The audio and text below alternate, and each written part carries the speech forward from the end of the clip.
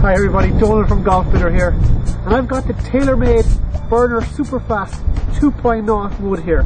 It's got that white finish like the R11, but in so many ways it's different to the R11.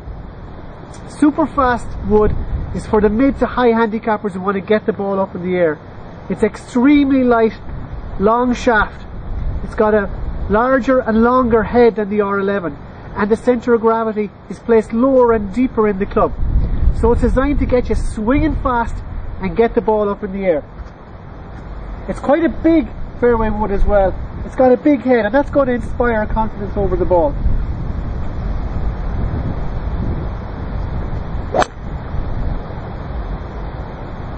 Real easy to hit, inspires confidence. There's also a TP version which is one degree open. Uh, it's got a slightly smaller head and a weight port at the back. So be careful when you're buying it. You know, if you're a mid to high handicapper, get the normal version. But for the better players, you'll get the TP version. Lovely touch as well is the real tacky grip you'll find on the Superfast. So you can check out all our TaylorMade range and especially the Superfast 2.0 on Golf Bidder.